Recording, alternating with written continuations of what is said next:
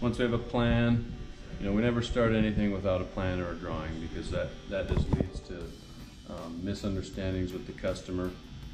And, you know, it all starts there. The drawing that we both agree on that this is what they want and this is what we're gonna build. So we send it out to the shop, raw material comes in the first door and there's a team that cuts pups. We call them pups, but pups are just a short stick of pipe that's to a specific measurement. So first they cut them, and then there's a, a tack up crew right here. And what they do is they tack up fittings. You know, they'll tack like a flange to a 90 or whatever is required. They just tack them all together. They put them on these pallets. It's one of the things that we found was really valuable is to eliminate the number of times pipe has to go down to the floor and then back up to waist level. Because it always has to come up to waist level to be worked on, and then it, you know, it's easy to just put it on the floor if it's being stored. But what we did is we said, we're gonna put it on these pallets. And then, and they're, they're kind of like crates, but then they move from there to the next station.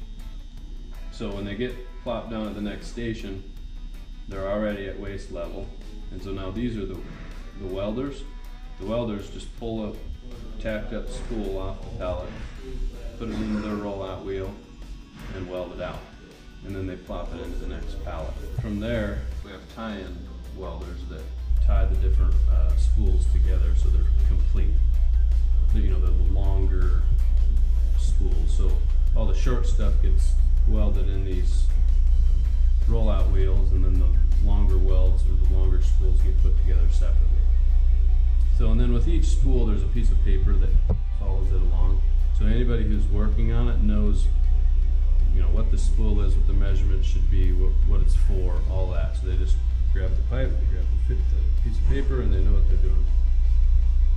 So from there, um, once they're tied in, the spools are complete, it goes out to the paint booth, and it gets, uh, an external coating, whatever the customer requires, that's where it gets done, is in the paint shop.